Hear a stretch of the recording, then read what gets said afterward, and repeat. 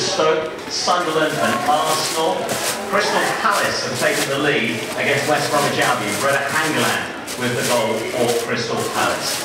Already today in the Premier League, West Ham beat Manchester City 2-1. Let's get some reaction. Here's Sam Allardyce, the West Ham boss. He's keeping Manchester City's West Ham? West Ham. Ah, Wonderful. But yeah. With all the big money spending. because Ali You're patient. Umbaye. Ali And you're better. Uh, whispering his when they are locked together. And uh, we How have long have you been in there?